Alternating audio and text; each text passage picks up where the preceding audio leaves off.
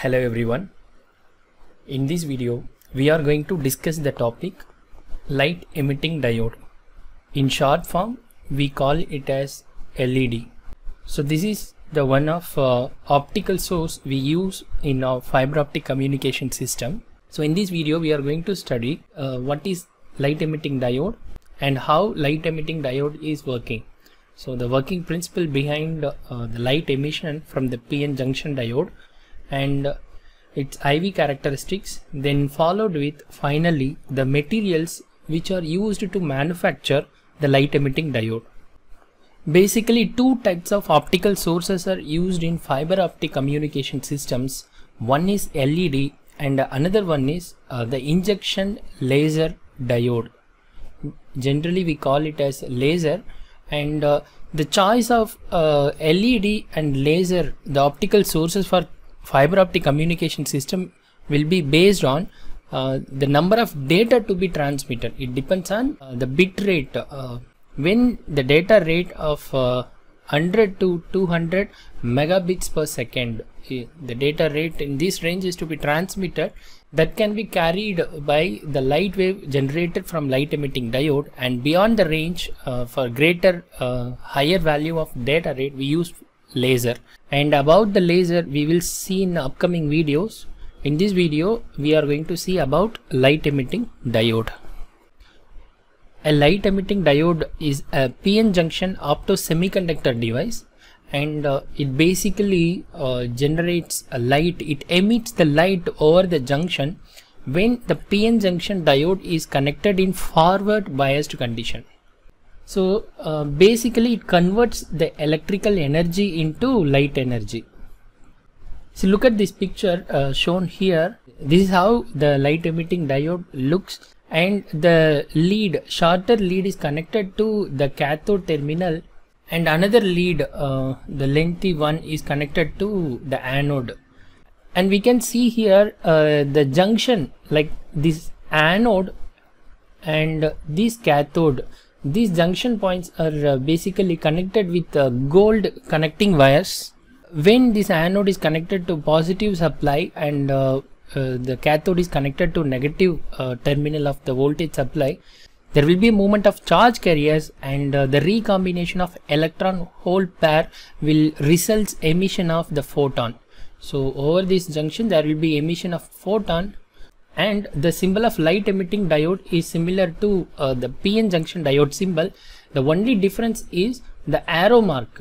See this arrow mark is the representation of light emission or the junction.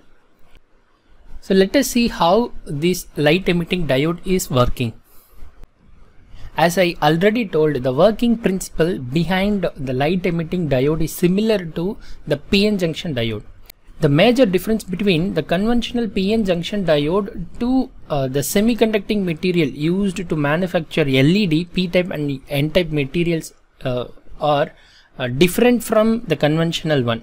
So generally we use uh, the silicon or germanium uh, group 4 materials, semiconducting materials to manufacture PN junction diode and these are uh, indirect bandgap materials and it does not have the nature of light emission in order to have the light emission over the junction light emitting diodes are manufactured. Materials like gallium arsenic phosphate and nitrate and all.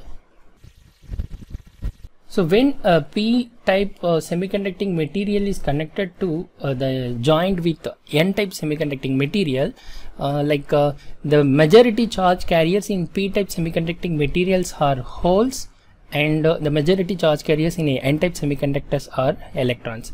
So when these are going to be joined together the charge carriers electrons here in uh, n-type materials are trying to combine with the holes and uh, the holes here in p-type semiconducting material are trying to combine with the electrons. So near the junction uh, there will be the accumulation of uh, negative charge carriers uh, near the junction of p-type material and holes uh, near the junction of n-type semiconducting material. And this is called a space charge region and uh, we we generally call it as a depletion region.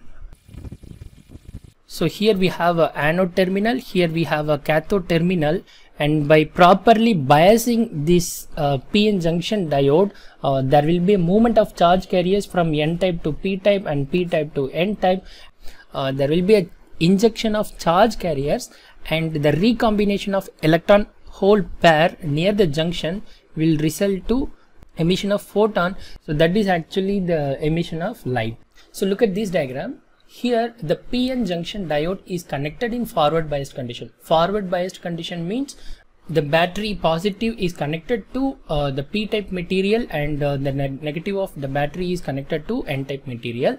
And uh, due to the positive connection holes from the majority charge carriers. Holes from p-type materials are getting repelled and trying to migrate over uh, trying to cross uh, the depletion region and uh, migrate over the n-type material. By the same way and uh, by the same way the negative charge carriers from n-type semiconducting materials are trying to migrate over p-type semiconducting material. By the way the depletion region width is going to be reduced when the supply connected across the PN junction uh, reaching the cutoff voltage that is the maximum voltage required to break the depletion region and uh, resulting the moment of charge carriers between p-type and n-type semiconducting materials right? And uh, explaining the recombination in a simple uh, way like uh, we have a conduction band and uh, there will be a valence band and uh, valence band is filled with uh, the valence electrons number of electrons. When there is an external energy that energy is absorbed by the electrons and these valence electrons are getting excited to the conduction band which resulting uh, the leaving the space here and creates electron and hole pair. And there will be a spontaneous emission. Uh, the emission behind uh, the light emitting diode is spontaneous emission. In case of laser it is stimulated emission. So when an electron returns back to the state to combine recombine with the holes it emits the energy uh, which it absorbed already. So that emission of energy is actually uh, light here the photon energy in pn junction uh, light emitting diode. And to understand this mechanism from uh, the energy band diagram look at this this portion is the energy band of the p-type material and this portion is the energy band diagram of uh, the n-type material. And this inclined portion is uh, the representation of energy band across the junction. When the pn junction is forward biased basically the charge carries the electrons and holes. Look at this energy band diagram. The electrons in the conduction band and holes in the valence band are moving uh, towards the junction with different voltage. That is flowing into the junction from electrodes with different voltages. So when uh, an electron meets across the junction when an electron meets a hole it falls into the lower energy level and uh, there the recombination process occurs and during the recombination it releases the energy absorbed. That is what uh, shown here as a light light emission during the recombination process. And the wavelength of the light emitted during the recombination process decides uh, the region uh, the range is up to the IR region infrared region or visible uh, region or uh, it depends on the wavelength of the light emitted so the waveform uh, displayed here is the IV characteristics of uh, the light emitting diode. It is similar to the PN junction diode uh, IV characteristics. In x-axis we have uh, the parameter uh, for voltage and uh, in y-axis the measurement taken for current and when it is forward biased PN junction is forward biased once the voltage reaches the cutoff voltage right? Gen we call it as a knee voltage. And when the cutoff voltage is reached then there is increment in current uh, with respect to the voltage. And basically uh, the light emitting diode is processed under forward biased condition we don't use uh, the light emitting diode in reverse biased condition. And if it is connected in reverse biased condition uh, with a huge voltage after certain time after certain limit there will be a breakdown. So once the breakdown occurs uh, there will uh, the device get damaged. So LED is not operated in reverse biased condition and it is operated in forward biased condition.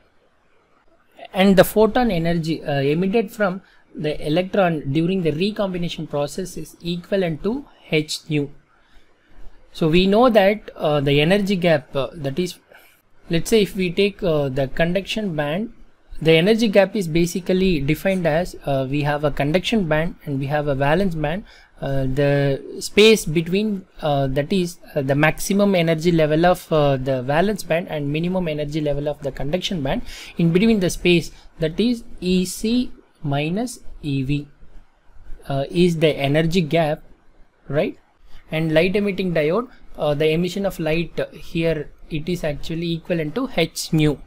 Here the light emitting diode is working uh, uh, based on the principle of injection luminescence.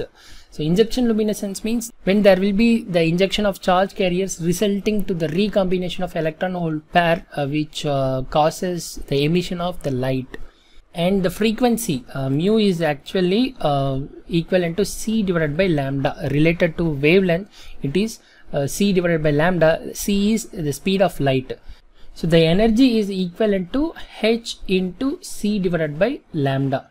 So we can write the wavelength of the light emitted from light emitting diode lambda is equal to hc divided by eg. That is uh, the wavelength is indirectly proportional to the energy gap. So if the energy gap is minimum then we get uh, uh, maximum wavelength. And if the energy gap is maximum we get minimum wavelength. And let's see uh, the type of uh, material semiconducting materials we use to manufacture LED because uh, the conventional uh, PN junction diode are made up of uh, silicon and germanium are actually indirect bandgap materials and the material which has direct band gap so direct and indirect band gap uh, the level of the conduction band let's say this is uh, the conduction band and this is uh, the valence band in order to have a proper energy emission the energy is to be conserved. So in case of uh, indirect band gap materials let's say this is the conduction band and this is uh, the valence band um, the conduction band minimum and the valence band maximum energy levels occur at uh, different values of momentum. So in order to have a recombination process so the level is different here and uh, the momentum of charge carriers will be different during the recombination process. So uh, band to band uh, the recombination must involve a third particle to conserve momentum because the photon momentum is very small so in direct uh, band gap semiconductor the electrons and holes can recombine directly across the band gap without needing a third particle to conserve momentum. So, uh, yeah, silicon and germanium diodes uh, in conventional PN junction diode are uh, the recombination occurs uh, of electron and hole pair uh, by non-radiative transition and uh, this non-radiative transition produces no optical emission because of indirect bandgap materials. So in light emitting diode, uh, we have a direct band bandgap materials. Uh, the energy emitted from uh, the photon energy emitted uh, by the light emitting diode, the range is up to the near infrared and visible and near ultraviolet range. And these are the materials gallium arsenide, gallium phosphide, gallium arsenide phosphide, aluminum gallium phosphide, gallium nitride, gallium indium nitride silicon carbide and zinc selenide. These are the semiconducting materials which are used to manufacture light emitting diode. And these materials are having band to band transition and uh, the emission of uh, light uh, the color uh, red yellow uh, white and blue based on the different combination of these materials for example, uh, the gallium arsenide, the LED made up of the gallium arsenide emits the light, the wavelength range which is closer to IR range and uh, the gallium phosphide uh, resulting to red and uh, green light and gallium arsenide phosphide materials resulting to the color of uh, light as red or the yellow light So let us quickly recollect uh, about light emitting diode. So the light emitting diode is basically converting the electrical energy into light energy and its working is similar to PN junction diode. So the major difference between the PN junction diode to light emitting diode is the type of material we use to manufacture uh, the PN junction and it is operated in forward biased condition uh, when it is forward biased the movement of charge carriers towards the junction uh, leads to recombination process and during the recombination there will be emission of light.